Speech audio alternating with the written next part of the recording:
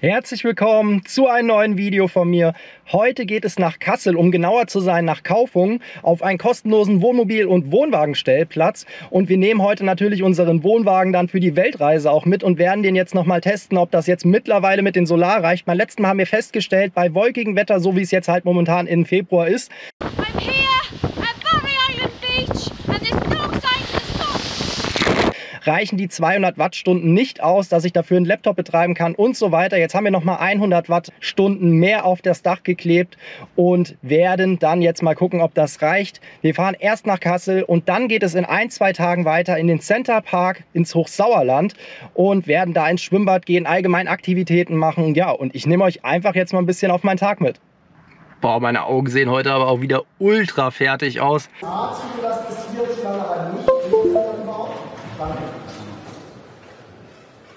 Ich habe nur viereinhalb Stunden geschlafen, aber naja, erholen kann ich mich ja gleich dann in Kassel. Aber wir werden wahrscheinlich eh wieder so viele Aktivitäten machen, dass wir nur abends dann mal uns entspannen und erholen. Hallo. Bist du auch der Uwe und auch dabei? Ja, ich bin der Uwe und bin auch mit dabei. Ja, das kann ich diesmal nicht einblenden, weil das habe ich beim letzten Mal bei dir schon eingeblendet. Dann bin ich die Ulrike und Ja. ich bin auch mit dabei. Da gibt es leider keine Memes für. Ne? Nee, leider nicht. Dann müssen wir welche machen. Haben Sie das Navigationssystem gestellt? See? Sind Sie bereit? Ah, ja, es war ganz schön windig und kalt.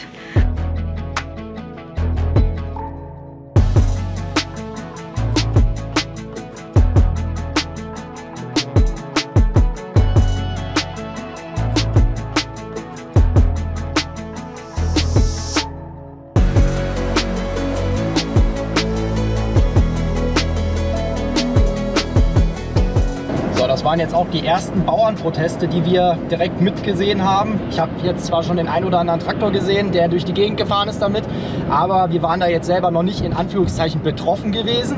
Ähm, aber finde ich auf jeden Fall 1A. Auf jeden Fall. Und du musst mal aufpassen, du hast, glaube ich, den Daumen da sehr stark auf der Linse.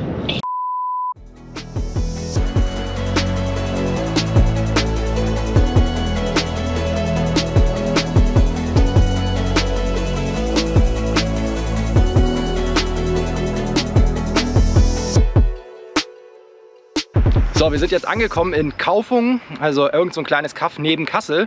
Und die Fahrt dahin war teilweise echt ein Horror. Wir standen so viermal ungefähr im Stau und es war auch nicht so wirklich ersichtlich, warum man im Stau stand. Meistens, weil die Leute sich nicht richtig eingeordnet haben oder so.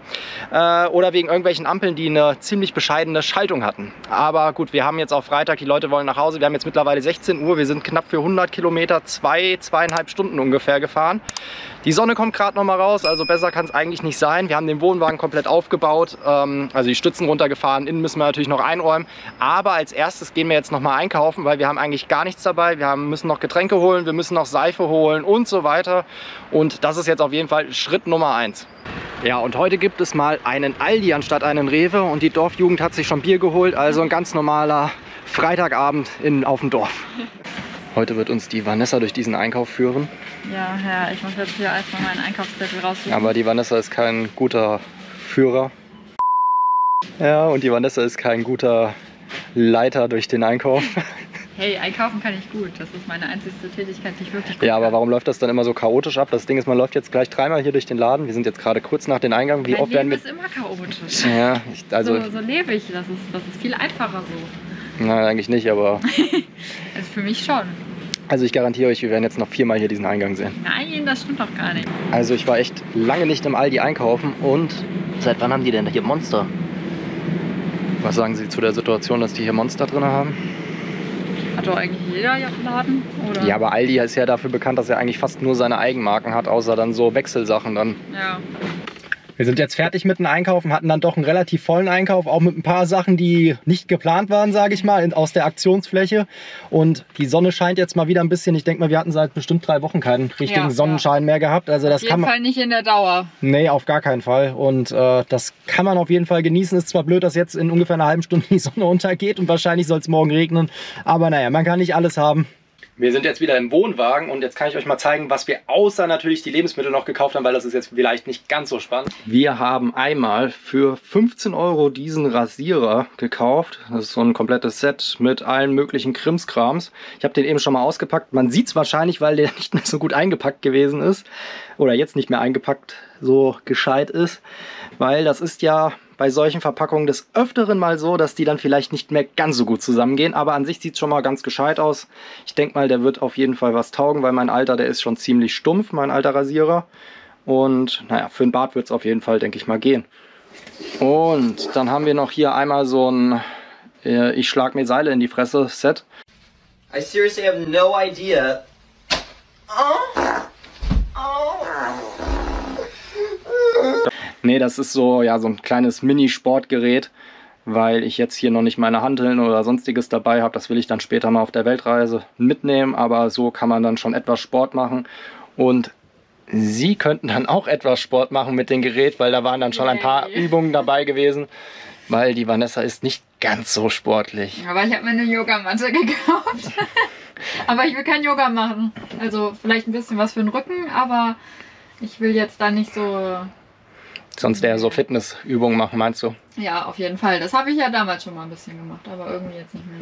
Also sie hat eine Ausdauer halt von, keine Ahnung. Eine Fisch. Nee, aber das Ding ist halt, also von der Ausdauer her ist das schon für dein Alter bedenklich, muss man wirklich Wir sagen. brauchen einmal einen kleinen Berg hochzufahren mit dem Fahrrad und ich bin knallerrot und krieg keine Luft. Ja, deswegen sollte man da auf jeden Fall was machen, weil es ist wichtig, jetzt im Alter was zu machen und dann wird man in der Regel auch deutlich älter, wenn man einigermaßen gesund lebt. Ist ganz wichtig. Ja, und ich denke mal, wir gucken jetzt nochmal, was hier im Umkreis so ist. Wir gehen mal ein bisschen spazieren. Vielleicht ist da noch das eine oder andere, was, ein, was man entdecken kann, sage ich mal. Und äh, naja, die Sonne geht auch gerade unter. Das heißt also, ein langer Spaziergang wird es auf jeden Fall nicht werden. Wir sind jetzt keine 300 Meter weiter gelaufen von dem Stellplatz selber entfernt, haben hier einen richtig schönen Sonnenuntergang und dann haben wir noch eine richtig schöne Brücke, die mit einem, über einen so einen Bach geht, der auch relativ voll ist. Das sieht wirklich sehr schön aus, muss man sagen. Und Kann da, schon Fluss sagen. ja, jetzt momentan, aber ich glaube, sonst würde ich halt eher, ist es, denke ich mal, ein Bach. Am besten googelt mal, bevor ich da jetzt was Falsches sage. Und man kann richtig gut den Mond sehen. Wahrscheinlich jetzt auf der GoPro überhaupt nicht. Das ist ja eh nicht sowas fürs Dunkle, die GoPro. Aber die kann man, da kann man den Mond so krass sehen. Wir haben wahrscheinlich jetzt Vollmond oder wirklich fast Vollmond. Echt schön. Ja, wir haben uns jetzt entschieden, dann wieder umzudrehen, weil es ist ziemlich kalt und ich bin natürlich auch wieder mit dem Pulli bestens gekleidet für das Wetter. Ne, wir haben 8 Grad. Das war eben in der Sonne auch ganz schön gewesen.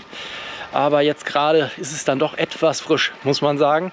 Und dann haben wir jetzt diesen 500 Meter Spaziergang dann langsam beendet. Ne, wir laufen jetzt wieder zum Wohnwagen. Ich denke mal, dann werden wir auch gleich noch mal was essen. Ja. Und ich denke mal, heute werden wir dann auch gar nicht mehr so viel machen. Und morgen werden wir mal gucken, vielleicht fahren wir zu dem Herkules in Kassel und ähm, ja, werden da mal gucken oder irgendwelche anderen Aktivitäten in Kassel machen. Die Vanessa bereitet uns jetzt was zu essen zu. Und zwar diese überbelichteten Würstchen. Und naja, die riechen echt komisch. Die sind jetzt von Aldi gewesen, die wir gerade geholt haben. Und ich finde, die riechen nach Füßen. Ja, ja. Und naja, ich sag mal so, ich hatte Lust auf die Würstchen, aber jetzt gerade nicht mehr so. Was sagen Sie dazu? Das Problem ist, wir haben zusätzlich keinen Senf mitgenommen, Ja. damit man da jetzt irgendwas retten kann. Das heißt, wenn die nicht schmecken, dann gibt's Brötchen mit Schablettenkäse. Also von der Optik her sehen sie ganz gut aus, aber die riechen immer noch komisch. Aber es kommt ja auf den Geschmack an. Wer weiß, was man da jetzt gerade isst. So, nachdem das die mit den Bratwürstchen eine, naja, Enttäuschung auf jeden Fall gewesen ist, für die Vanessa mehr als für mich, gibt es jetzt nochmal diese Knusperkekse, Pralinen, was auch immer. Die schmecken auf jeden Fall ganz gut. Und für die Vanessa gibt es hier noch auch was super Gesundes und Nahrhaftes. So Haselnusskekse. Ja, die finde ich jetzt nicht ganz so geil. Und dazu gibt es noch eine Runde. Mensch, ärger dich nicht, dass ich dann die Vanessa wieder mal abziehe. Hey. Und dabei hören wir Musik mit unserer tollen Box, die wir beim Action für 4 Euro gekauft haben. Aber die ist tatsächlich echt nicht schlecht. Für 4 Euro kann man da nichts sagen. Die kommt natürlich nicht an so eine GBL-Box ran, diese Runden, was auch immer. Aber ich meine, man darf sich für 4 Euro sowieso nicht beschweren. Ich wollte gerade sagen, das sind 4 Euro. Das, das ist eine Packung Fleisch. Ja, früher war es eine Packung Zigaretten. Nachdem ich die erste Runde Mensch ärger dich nicht verloren habe, aber dafür wenigstens eine Runde Mau Mau gewonnen habe, beenden wir jetzt auch das Video. Ähm, morgen fahren wir zum Herkules, das machen wir dann aber wahrscheinlich im nächsten Video und allgemein nach Kassel. und werden da etwas unternehmen. Damit würde ich sagen, ich bedanke mich fürs Zuschauen, abonniert den Kanal und Gute Nacht! okay, gute Nacht.